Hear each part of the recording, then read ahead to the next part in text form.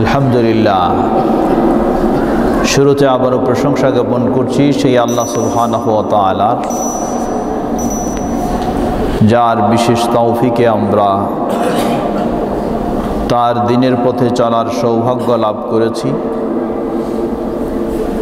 যে আল্লাহ সুবহানাহু ওয়া আমাদেরকে সৌভাগ্য দান করে সম্মানিত মর্যাদাশীল করেছেন। তার ওই প্রশংসা জ্ঞাপনার্থে বলি, আলহামদুলিল্লাহ। অতপর অসংখ্য সালাত সালাম পেশ করছি প্রিয় রাসুল মুহাম্মদ সাল্লাহ আলাইসাল্লাম তার আসহাবিকে রাম আহলি বাইট শেষ দিবস পর্যন্ত তার প্রতিটি একনিষ্ঠ অনুসারীদের উপর। সম্মানিত সমবেত মুসল্লিবৃন্দ আল্লাহ সুবহান হাত আলা কোরআনুল করিমের বিভিন্ন আয়াতে কোরআনের লক্ষ্য উদ্দেশ্য সম্পর্কে আমাদেরকে বর্ণনা দিয়েছেন। সোরা আল বকারায় দুইভাবে আল্লাহ রাবুল্লাহ আলমিন আলোচনা করেছেন। এক জায়গায় আল্লাহ রাবুল্লাহ আলমিন বলেন شهر رمضان الذي أنزل فيه القرآن هدى للناس وبينات من الهدى والفرقان এ হলো সেই রমাদান মাস যেই মাসে নাজিল হয়েছে কোরআন কেন নাজিল হয়েছে হুদাল্লিন্নাসি ওয়া বাইয়িনাতিম মিনাল হুদা ওয়াল ফুরকান গোটা মানব জাতিকে মুসলিম হোক, অমুসলিম হোক, হিন্দু হোক, খ্রিস্টান হোক, বৌদ্ধ হোক, সমগ্র মানব জাতিকে সঠিক পথ দেখানোর জন্যই এ কোরআন নাজিল হয়েছে বলুন সুলহান আল্লাহ সমগ্র মানব জাতিকে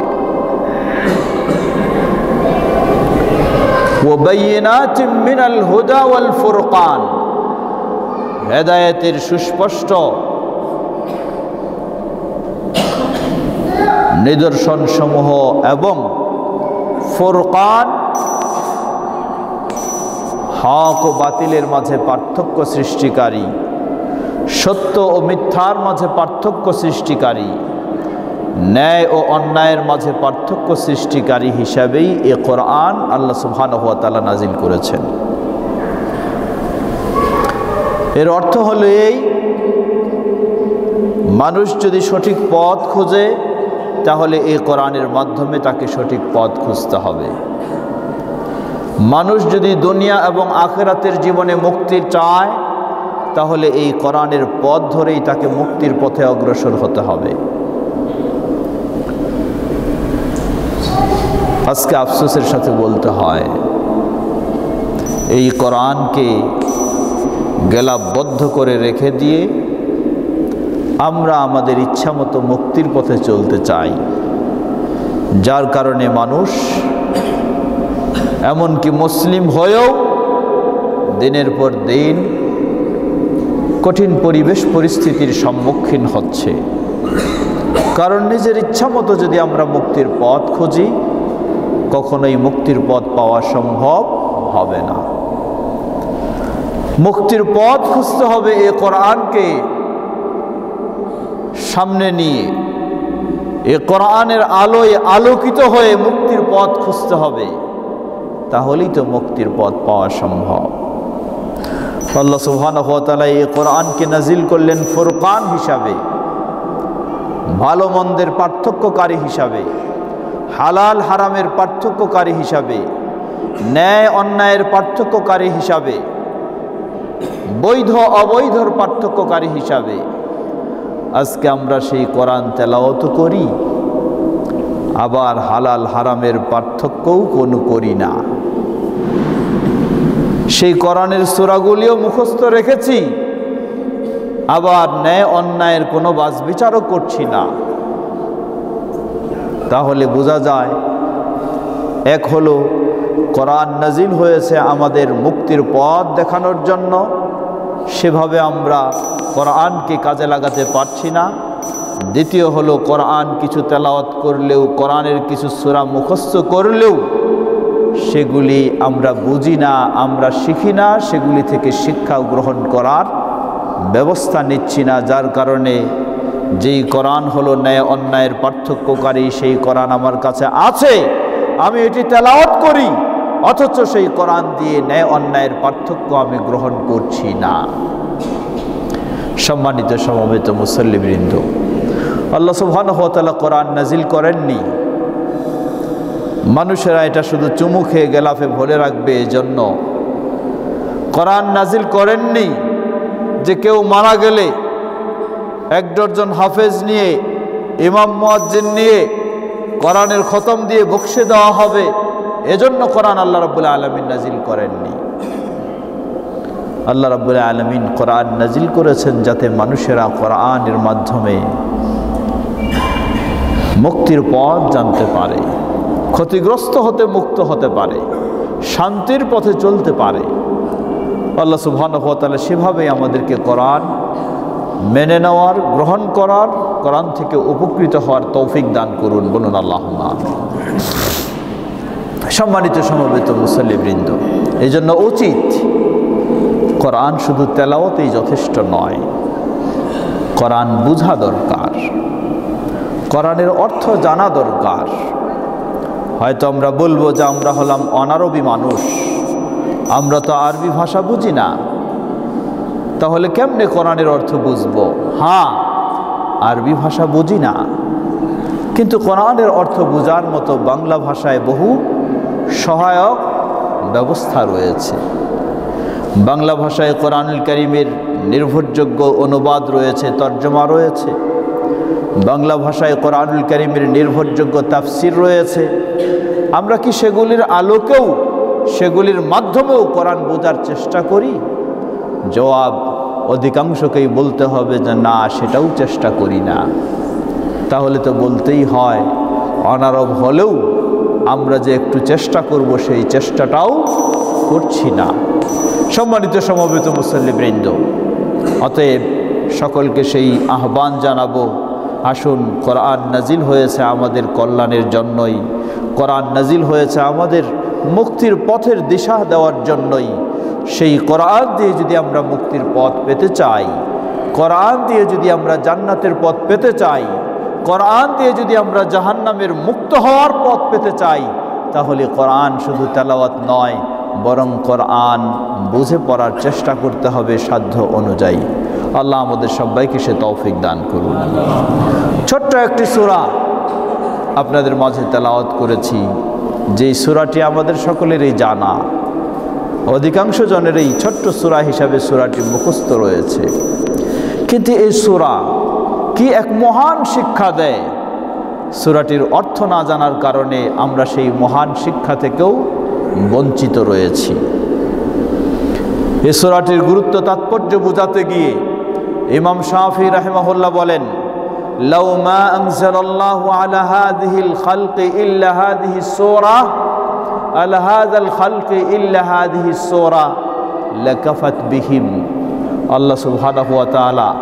মানব জাতির জন্য যদি শুধুমাত্র সূরা আসর নাজিল করতেন আর কিছু নাজিল নাও করতেন, তাহলে এই সূরাটি মানব জাতির জন্য মুক্তির পথে চলার জন্য যথেষ্ট হয়ে যেত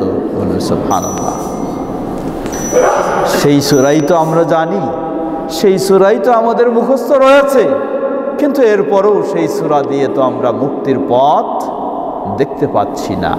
কারণটা হলো এই যে আমরা সোরার অর্থ কি তাও বুঝছি না, তাও বোঝার চেষ্টা করছি না। সোরার শিক্ষা কি তাও আমরা জানছি না, জানার চেষ্টা করছি না।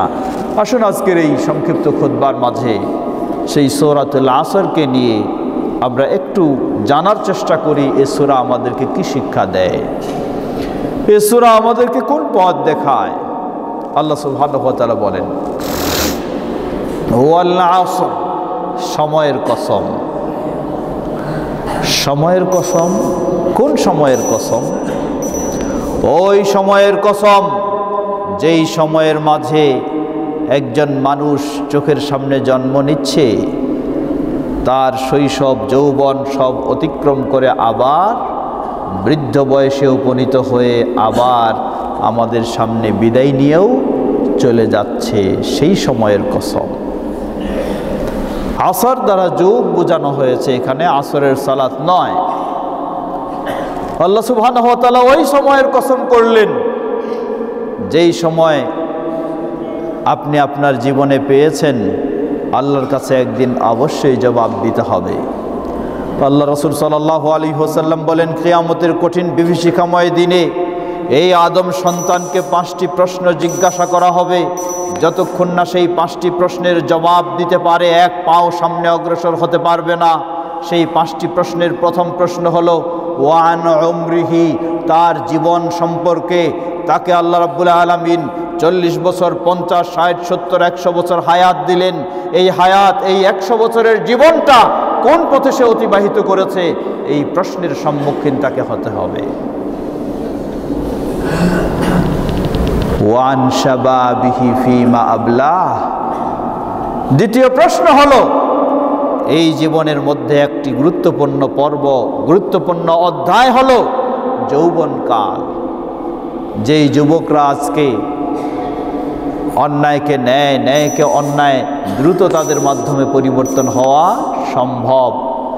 যৌবনের তেজ, যৌবনের গরম যখন তাদের মাঝে থাকে মনে হয় যেন তারাই সব কিছু এগিয়ে যেতে পারছে।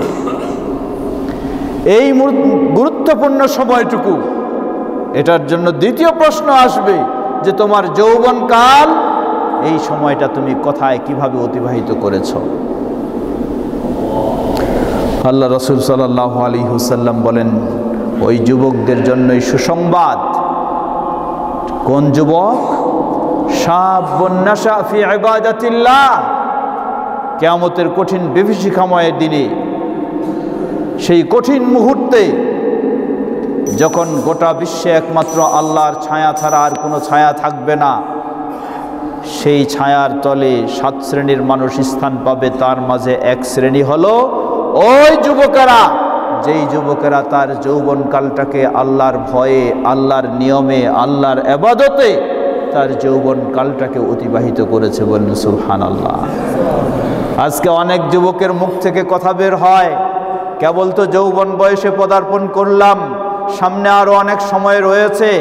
হোক চল্লিশ বছর অতিক্রম, হোক পঞ্চাশ বছর অতিক্রম, তারপর নামাজি হয়ে যাব, তারপর দিনদার হয়ে যাব, তারপর ভালো হয়ে যাব, তারপর ভালো পথে চলবো, তারপর ইসলাম মেনে চলবো।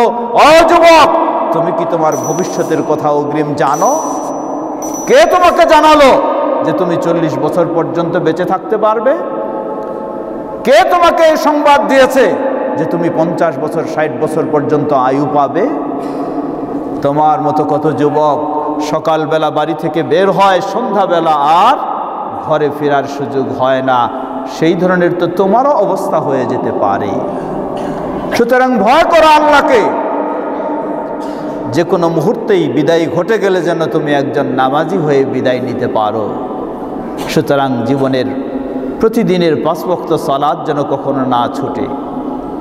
যে কোনো মুহূর্তে বিদায় ঘটে গেলে তুমি একজন নেশাগ্রস্ত, নেশাখোর হিসাবে যেন বিদায় না হয়, নেশামুক্ত হয়ে একজন ভালো মানুষের মতো যেন তোমার বিদায় হয়। সুতরাং যৌবনের সময়টাকে সেভাবেই গুরুত্ব দেওয়ার চেষ্টা করা উচিত। সম্মানিত সমবেত মুসল্লিবৃন্দ, অন্যদিকে চলে যাচ্ছি, ফিরে আসি সেই সোরায়। এজন্যই মানুষের এই সময়টা কীভাবে চলে যাচ্ছে, একটু ভাবুন। এই তো কয়েকদিন আগে আমি ছোট ছিলাম, হয়ে গেলাম, যৌবনে এসে গেলাম। আবার কয়েকদিনে বার্ধক্যের কাছাকাছি এসে যাচ্ছে। কিছুদিন পর দেখা যাবে, নাই, আমি বৃদ্ধ হয়ে গেছি। শত ইচ্ছা থাকা সত্ত্বেও কিছু করার আর গায়ে শক্তি হচ্ছে না। ইচ্ছা থাকা ইচ্ছা থাকা সত্ত্বেও সামর্থ্য হচ্ছে না।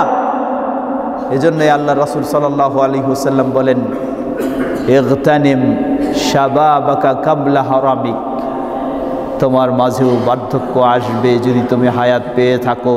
ওই বার্ধক্য এসে যাওয়ার পূর্বেই তোমার যে যৌবনের সময়টা রয়েছে, এটার এই মূল্যায়ন করো। না হলে আফসোস ছাড়া আর কিছুই পথ থাকবে না। ওয়াক্তানিম মাউতিক।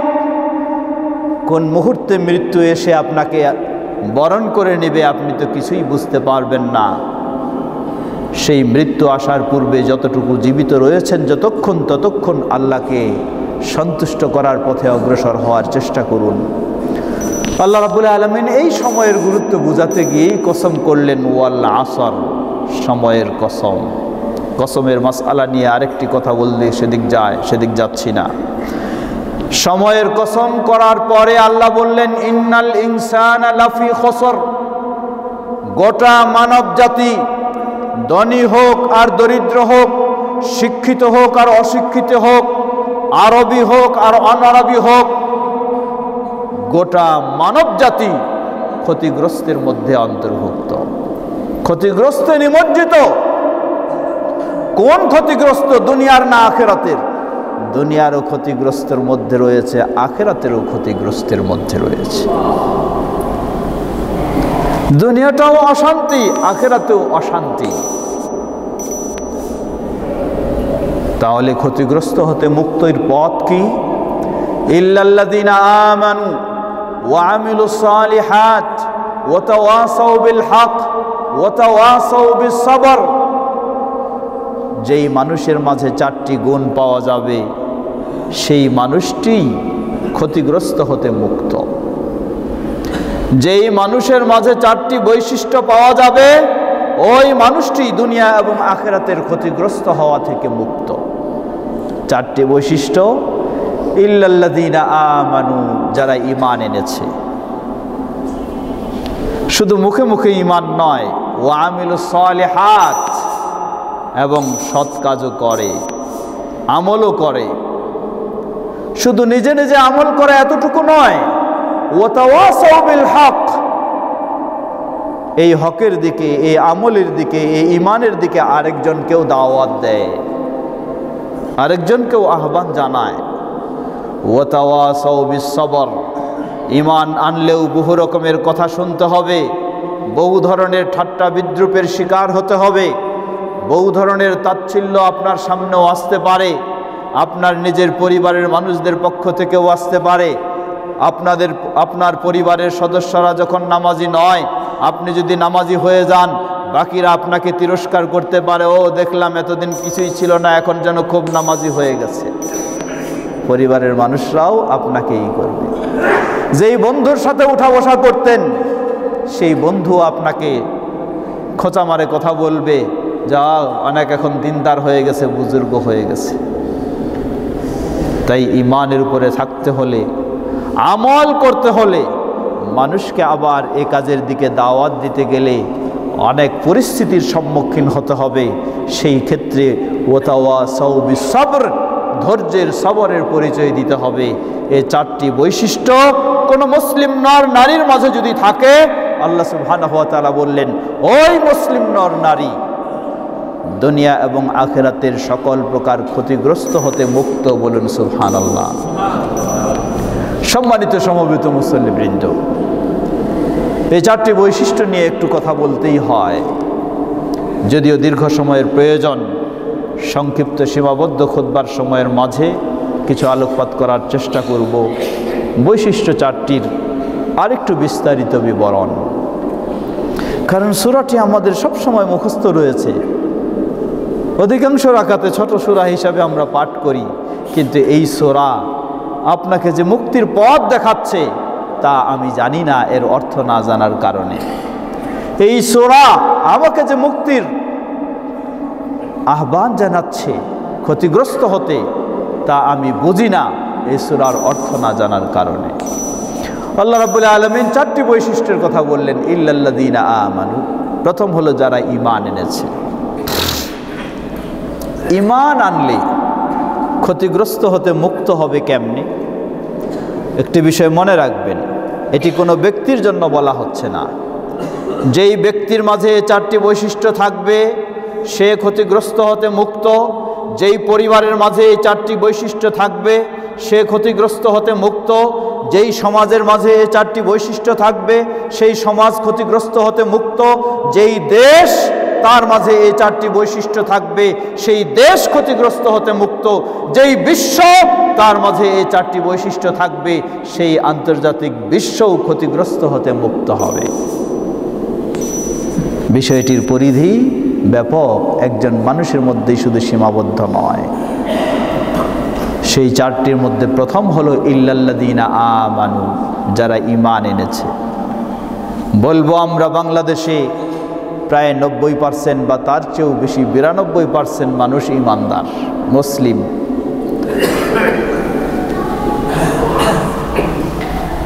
পরিসংখ্যানে দেখা যায়, বাংলাদেশে বিরানব্বই পার্সেন্ট মানুষ হলো মুসলিম।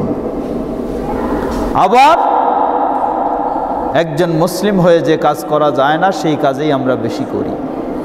একজন ইমানদারের জন্য যা শোভা পায় না, সেই কাজটাই আমরা প্রতিযোগিতা করি। আল্লাহ রসুল সাল্লাহ আলী হোসাল্লাম বললেন, লা ইমান মান লা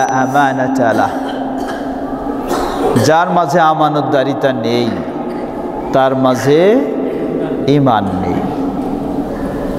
খুঁজে দেখুন আমাদের ব্যক্তির অবস্থা, পরিবারের অবস্থা, সমাজের অবস্থা। কে কার আমানত তসরুপ করব সেটার এই চলছে প্রতিযোগিতা। আমানতদারির প্রতিযোগিতা নয়।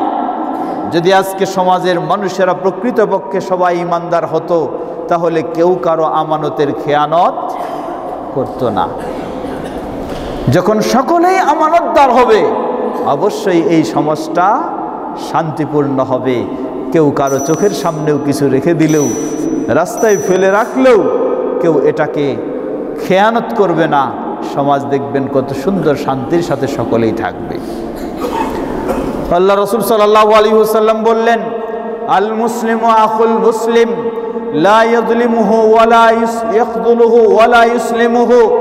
একজন মুসলিম আরেকজন মুসলিমের ভাই এই ইমানি বন্ধুত্বে ইমানি সম্পর্কের কারণে একজন মমিন আরেকজন মমিনের প্রতি কখনো জুলুম করতে পারে না।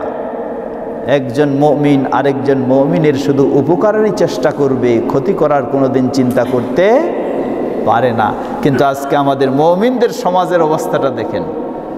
আমরা সবাই মমিন, আমাদের সমাজের অবস্থাটা দেখুন। একজন আরেকজনকে কীভাবে ক্ষতিগ্রস্ত করব। কেউ যদি ব্যবসা বাণিজ্যে একটু সামনের দিকে এগিয়ে যায়, এটা আমার সহ্য হয় না, তাকে কীভাবে নিচে নামাতে হবে সেই চিন্তায় আমার মাথায়, সেই চিন্তায় যেন আমি ব্যস্ত হয়ে গেছি, তাকে কীভাবে নিচে নামাতে হবে? একজন পরি, এক পরিবারের সন্তানেরা যদি খুব ভালো মানুষ হয়, আদর্শবান হয়ে যায়, আমার যেন এটা মাথা ব্যথার শুরু কারণ হয়ে গেল যে তার ছেলেরা মানুষ হয়ে যাচ্ছে, এটা কেমন কথা? তার ছেলেরা যেন নষ্ট হয়, এটাই হলো আমার চিন্তা। না ওজবিল্লা এটা ইমানের বিষয়। একজন মুসলিম আরেকজন মুসলিমের কল্যাণ সবসময় কামনা করবে।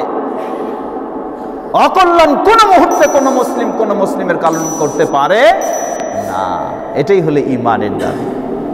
আজকে যদি সেই ইমান আমাদের মাঝে, আমাদের পরিবারে, আমাদের সমাজে থাকতো, নিশ্চিতভাবে বলতে পারি আমরা এটাই হলো ক্ষতিগ্রস্ত থেকে মুক্ত সমাজ, শান্তিপূর্ণ সমাজ। দুনিয়াতে যেমন শান্তি, ঠিক আখেরাতেও তেমন শান্তি হবে। কিন্তু সেই প্রকৃত ইমান আজকে আমাদের মাঝে না থাকার কারণে জন্মসূত্রের ইমান আছে আমাদের কাছে।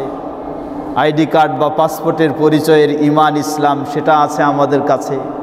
কিন্তু বাস্তব যে ইমান দুনিয়া এবং আখেরাতের ক্ষতিগ্রস্ত হতে মুক্ত হওয়ার সেই ইমান থেকে আজকে আমরা অনেক দূরে রয়েছি।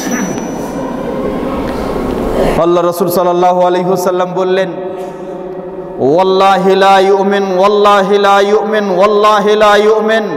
আল্লাহর কসম করে বলছি সে ইমানদার নয়। আল্লাহর কসম করে বলছি সে ইমানদার নয়।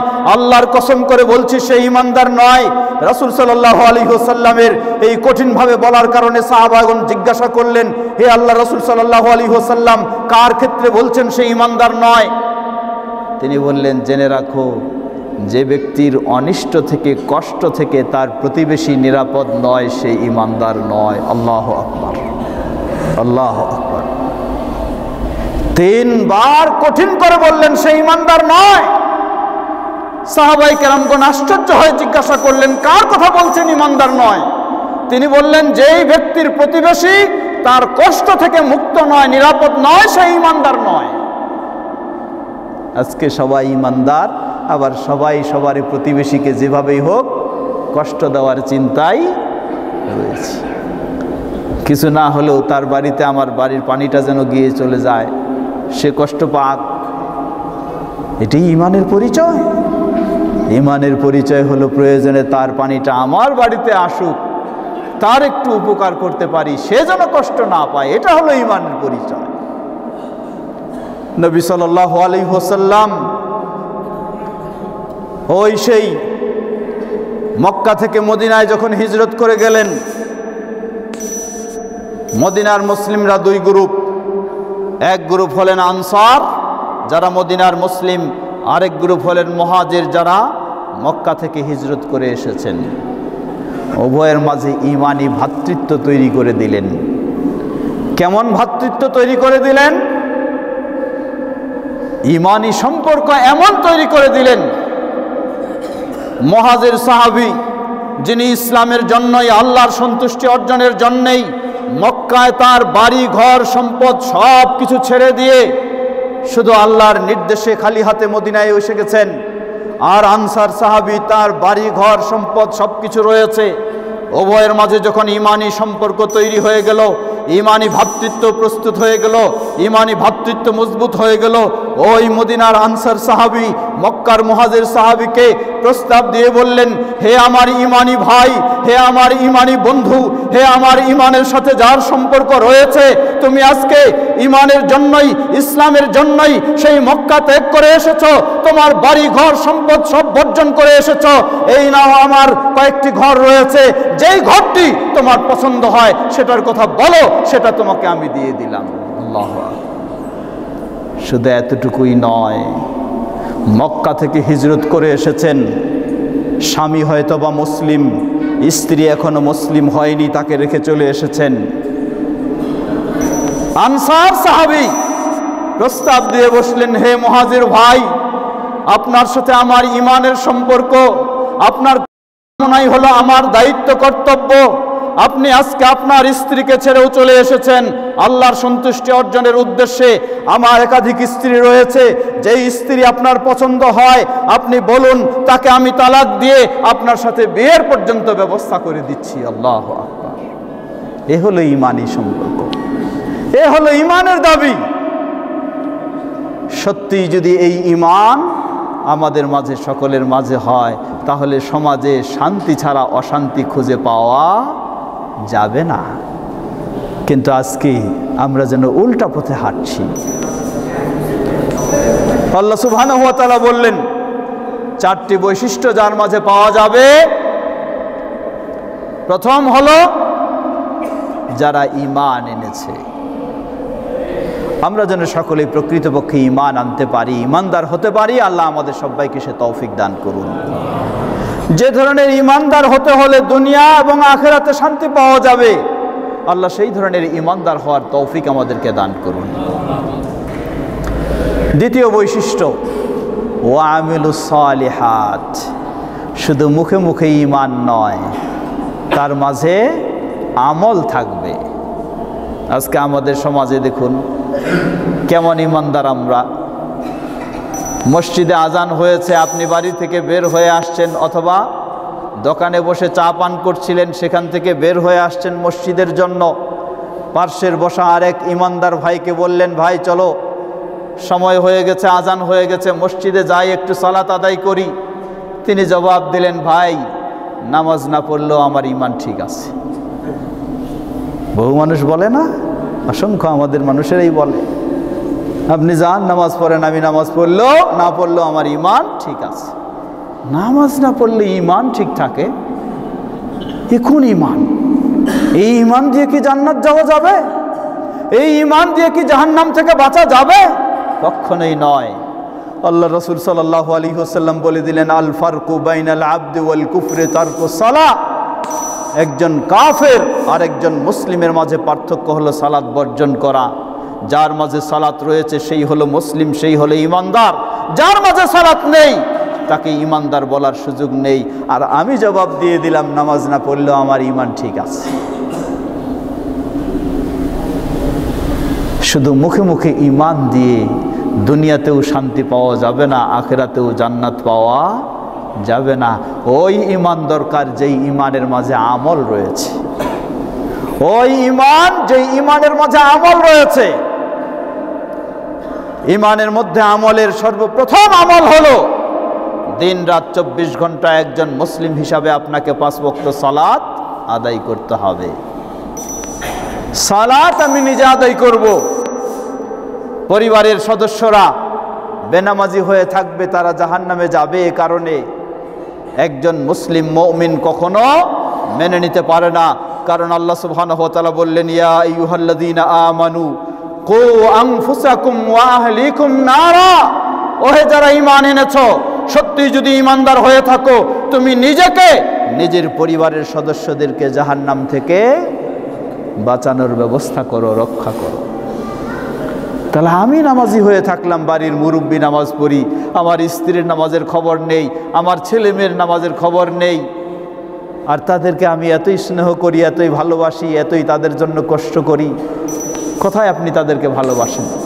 সত্যিই যদি তাদেরকে ভালোবাসেন, তাহলে দুনিয়ার কষ্টর চেয়ে জাহান্নামের কষ্ট থেকে আপনি তাদেরকে বাঁচানোর জন্য ব্যবস্থা নেবেন। আপনার ছেলে মেয়েকে কত আদর করেন, কত স্নেহ করেন, কেউ যেন তার গায়ে একটা ঠোকাও না দিতে পারে, দিলে আপনি তার প্রতিরোধের ব্যবস্থা নিয়ে নেন। কিন্তু আপনার এই ছেলে মেয়ে যদি বেনামাজি হয়ে, বেদিন হয়ে চলে, তাহলে এর জায়গা কোথায়? এর জায়গা তো আপনি পথ দেখিয়ে দিলেন তাকে জাহান নামে নাউজুবিল্লাহ। সুতরাং আসুন, নিজেও নামাজি হব। যেই পরিবারের সদস্যদের জন্য এত কষ্ট করি, তাদেরকেও নামাজি বানিয়ে গোটা পরিবারটাই যদি জান্নাতে যেতে পারি, তাহলেই তো হলো আসল শান্তির বিষয়। আল্লাহ আমাদের সবাইকে সেভাবে আমল করার তৌফিক দান করুন। ও আখর দাওয়ান আলহামদুলিল্লাহ রবিল আলমিন। সাল্লাম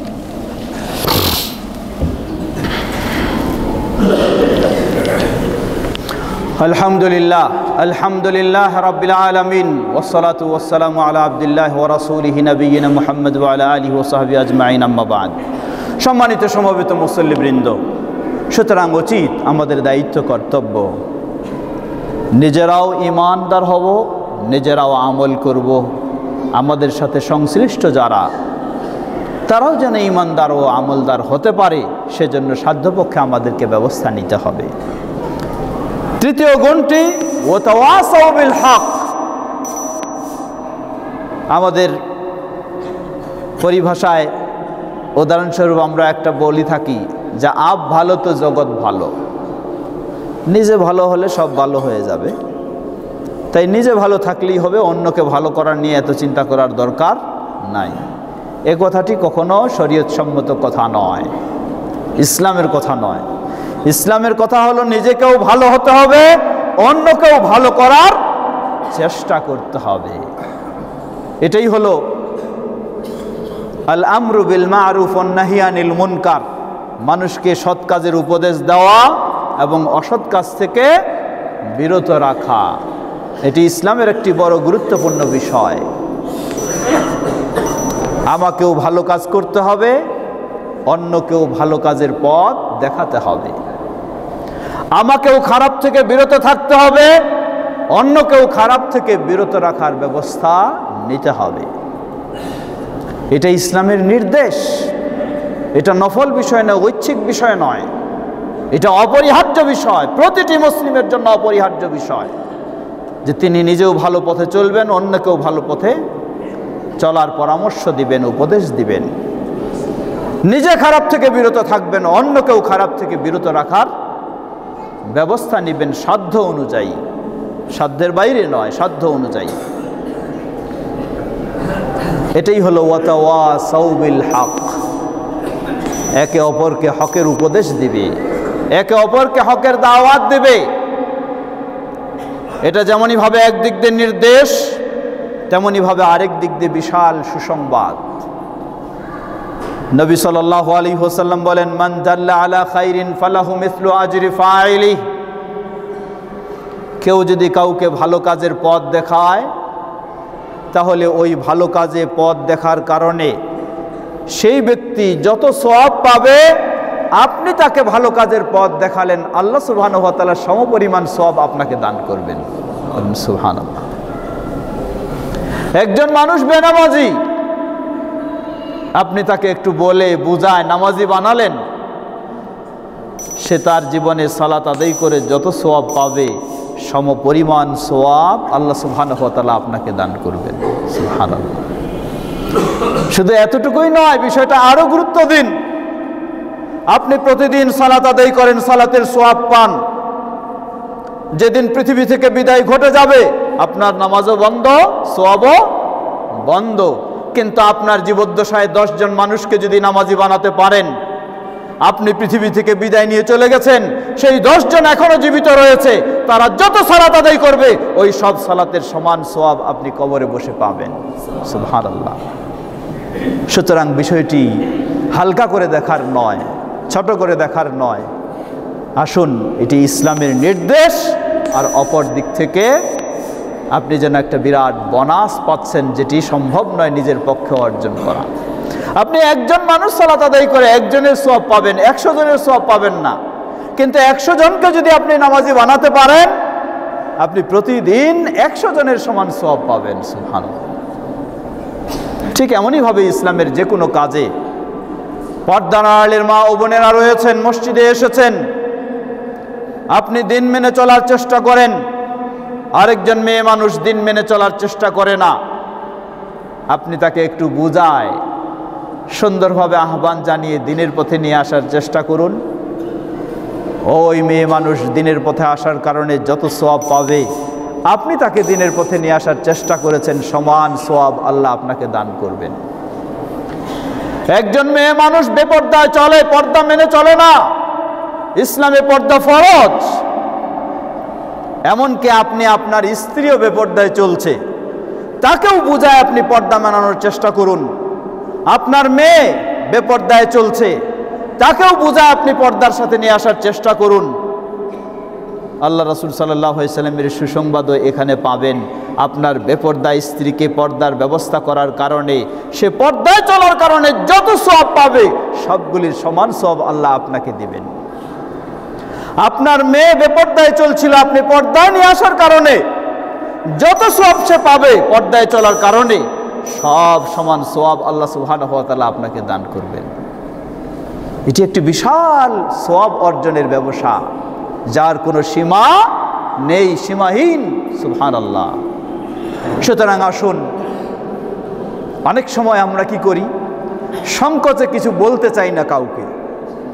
যদি বলি, কি হয়, কি মনে করবে, কি উল্টা আসবে, কি বলবে, কি ভাববে? তাই একজন বেনামাজি হলেও তাকে নামাজের কথা বলি না। একজন খারাপভাবে চললেও তাকে খারাপ থেকে দূর হওয়ার কথা বিরত হওয়ার কথা বলি না। এই সংকোচটা হওয়া উচিত নয়। আপনি বলে দেখুন, দেখবেন যে হয়তো বা আপনার এই সুন্দর কথাটা শোনার মাধ্যমে সে পরিবর্তন হয়ে গেছে। আপনার ছেলে, আপনার ভাই, আপনার ভাতিজা, আপনার প্রতিবেশী সবসময় একসাথে উঠা বসা করছেন। কোনোদিন তাকে নামাজের কথাও বললেন না। আপনি বলতে চাইলে ইবলিস এসে আপনাকে বাধা দিচ্ছে। ইবলিস আপনাকে বুঝ দিচ্ছে যে এটা বলবা কেমনে? সরম লাগবে না, লজ্জা লাগবে না, সংকোচ লাগবে না। ইবলিস আপনাকে এগুলি বুঝায় বুঝায় থামায় রাখছে।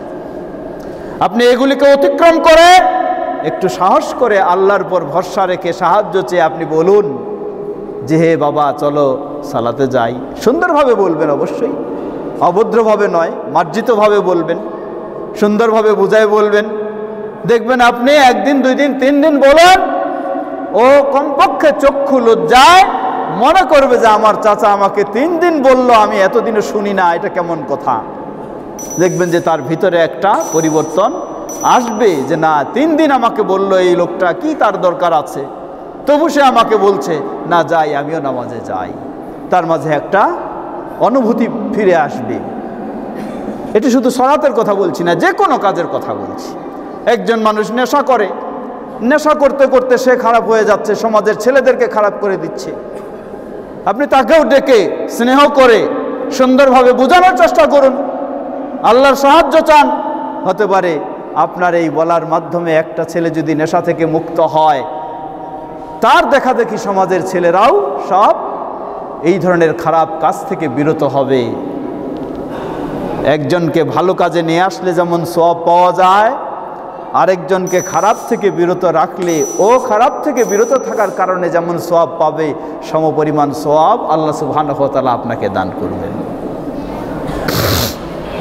আসুন, আর সংকোচ নয়। ভালো কাজের প্রতিযোগিতা করার চেষ্টা করি। ভালো আচরণ সুন্দরভাবে একে অপরকে ভালোর পথ দেখানোর চেষ্টা করি, একে অপরকে খারাপ থেকে বিরত রাখার চেষ্টা করি, সকলেই যদি চেষ্টা করি, তাহলে অবশ্যই পরিবর্তন আমাদের আসবেই, আসবে, কোনো সন্দেহ নেই।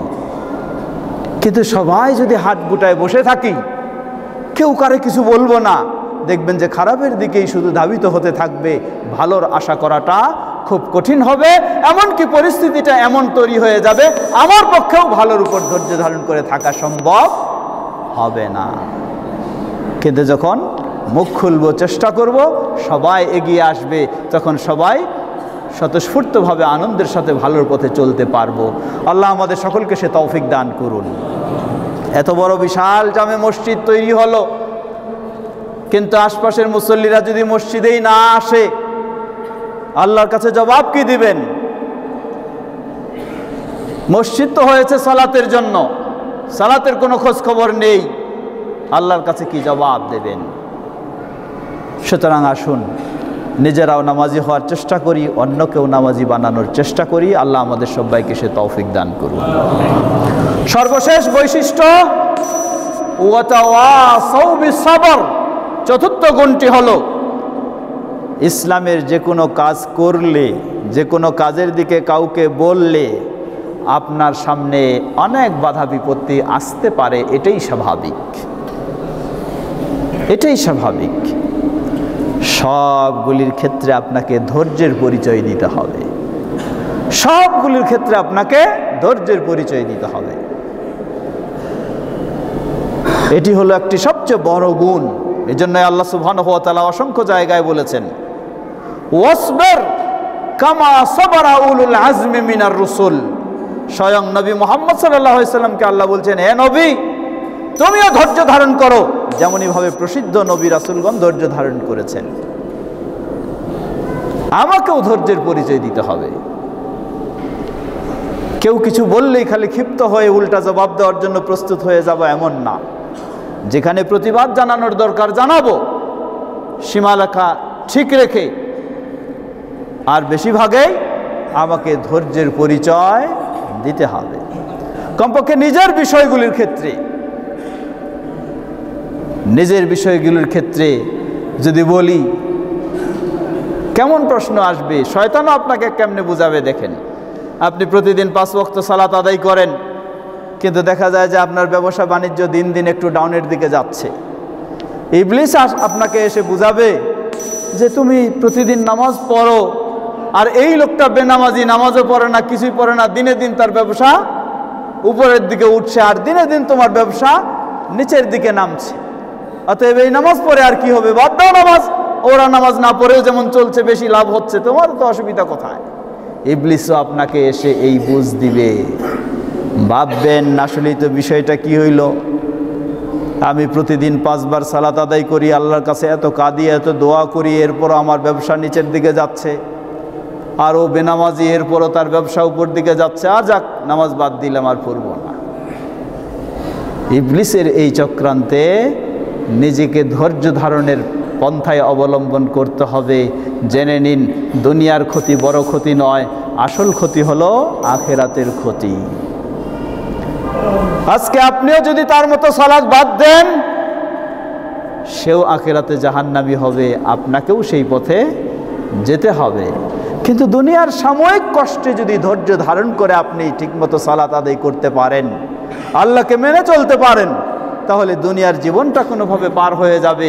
সীমাহীন আখেরাতের জীবনটা হবে আপনার জন্য শান্তিময়, যেটি তার জন্য কখনো হবে না। সুতরাং এক্ষেত্রে আপনাকে অবশ্যই ধৈর্যের পরিচয় দিতে হবে। কারণ দুনিয়ার জীবন কতদিন? শেষ, দিন দিন অগ্রসর হয়ে শেষ জীবনটা। এই কয়েকটি দিন অবশ্যই আপনাকে ধৈর্যের পরিচয় দিতে হবে। আসুন আমরা যেন এই বিষয়গুলি মনে রেখে সেভাবেই আমরা সামনের দিকে অগ্রসর হতে পারি। আল্লাহ আমাদের তৌফিক দান করুন। বিশেষ করে স্মরণ করে দিতে চাই, ডিসেম্বর মাস শেষ হলেই শুরু হচ্ছে জানুয়ারি মাস। নতুন শিক্ষাবর্ষ দুই হাজার বিশ সালে আপনার ছেলে মেয়েকে কীভাবে মানুষ করবেন, অনেক পরিকল্পনা আপনার। কিন্তু আপনার ছেলে মেয়েকে কীভাবে নামাজি বানাবেন সেই পরিকল্পনা কি আছে আপনার? আপনার ছেলে মেয়েকে কীভাবে দিনদার বানাবেন সেই পরিচয় পরিকল্পনা কি আছে আপনার? বুক ভরা আশা নিয়ে বসে থাকি যে আমার ছেলে মেয়েরা যদি আমার জন্য আল্লাহর কাছে কাঁদে, বলে, রব্বির হাম হুমা কামা রব্বায়ানি সগীরা। এটি বুক ভরা আশা নিয়ে বসে আছি। কিন্তু ছেলেকে যদি, মেয়েকে যদি ওই সব জায়গাতেই শুধু পড়ানোর জন্য পিছনে যত ব্যয় করার করব, যেখানে ইসলাম নাই, দিন নাই, রব নাই, আল্লাহর পরিচয় বলতে কিছু নেই, তাহলে ওই ছেলে মেয়ে তো ওই রকমই হবে। এই আধুনিক শহর উত্তরার। ছেলে মেয়েকে বাবা খুব সুপ্রতিষ্ঠিত করেছেন। বাবা হাসপাতালে মৃত্যুবরণ করলেন। বাস্তব ঘটনা, মৃত্যুবরণ করলেন। হাসপাতাল কর্তৃপক্ষ ছেলেকে ফোন করে জানাচ্ছে যে আপনার বাবা মৃত্যুবরণ করেছেন, তার দাফন কাফনের ব্যবস্থা করতে হবে। ছেলে জবাব দিচ্ছে, আমি মিটিংয়ে আছি, আমার সময় নাই, অন্য কিছু ব্যবস্থা করে নেন। বাস্তব কথা এগুলি, অবাস্তব বলছি না। কেন হবে এটা? কারণ হলো ওটাই ছেলেকে মানুষ করার জন্য অনেক টাকা পয়সা খরচ করেছেন, কিন্তু ছেলে মেয়ের মাঝে আল্লাহর ভয়, সামান্য দেওয়ার চিন্তা করেননি। জেনে নিন একটা সহজ সূত্র, যেই ছেলে মেয়ে আল্লাহকে মানবে না, ওই ছেলে মেয়ে বাবা মাকেও মানবে না। যেই ছেলে মেয়ে আল্লাহর আনুগত্য করবে না, আল্লাহর অবাধ্য হবে, ওই ছেলে মেয়ে বাবা মারও অবাধ্য হবে। এটা সাধারণ একটা সূত্র। এজন্য ইসলামের নির্দেশ, মরু আউলাদাকুম বিসসালাতি ওয়াহুম আবনাউ বাচ্চাদের বয়স যখন সাত বছর হয়, তখনই তাদেরকে সালাতের নির্দেশ দাও। দশ বছর হয়ে গেলে এরপরেও যদি গুরুত্ব না দেয়, শাসনের ব্যবস্থা নাও। কারণ আপনার ছেলে যদি আল্লাহকে ভয় করে, আল্লাহর আনুগত্য স্বীকার করে নামাজি হয়, ওই ছেলে সাধারণত বাবা মার সাথে দুর্ব্যবহার করবে না। প্রয়োজনে তার মিটিং বাদ দিয়ে বাবা মার খেদমতে, বাবা মার সেবায় সে ছুটে যাবে। সে ভাববে, বাবা মার জীবনের শেষ মুহূর্তে যদি আমি সেবাটা না দিতে পারি, তাহলে আমার মতো ছেলে বেঁচে থাকে কোনো লাভ নেই। কোন ছেলে বলবে? ওই ছেলে! যেই ছেলের মাঝে আল্লাহর ভয় আছে, যেই ছেলে জান্নাতের কথা চিন্তা করে, যেই ছেলে আখেরাতের কথা চিন্তা করে, আর ছেলেকে মানুষ করতে গিয়ে ওই নাস্তিক মনা যখন গড়ে তুলবেন, ওই ছেলে বলবে, আমার বাবা মা তাড়াতাড়ি বিদায় নিলেই আমি বাঁচি। আসুন দুই হাজার বিশ সালে নতুন শিক্ষাবর্ষে আপনার ছেলে মেয়ের জন্য সেই চিন্তাটি একটু ভাবার চেষ্টা করুন। হতে পারে আপনার ছেলে মেয়েকে ডাক্তার, ইঞ্জিনিয়ার বানাবেন, কোনো অসুবিধা নাই, বানান। কিন্তু আপনার ছেলে যেন হয় নামাজি ডাক্তার। আপনার ছেলে যেন হয় নামাজি ইঞ্জিনিয়ার, তাহলে আপনি সফল হবেন। দেশ সফল হবে, মানুষ তার দ্বারা উপকৃত হবে। আমরা যেন আমাদের সন্তানদেরকে সেভাবে গড়ে তুলতে পারি, আল্লাহ আমাদের তৌফিক দান করুন। সুতরাং সবাইকে আলেম বানাতে হবে এমন নয়। কমপক্ষে সমাজে টার্গেট নিন। দশ, পনেরো, বিশ জন জনের সমাজে আলেম তৈরি হয়। তাহলে তাদের মাধ্যমেও আল্লাহ সুবাহানহতালা সমাজটাকে হেদায়েতের পথে কবুল করবেন। সেজন্য অনুরোধ জানাব, শুধু বাইরের খালি আলেমকে ভাড়া নিয়ে আসবেন এটা নয়। নিজেদের মধ্যেও আলেম বানানোর চেষ্টা করবেন আল্লাহ তৌফিক দান করুন।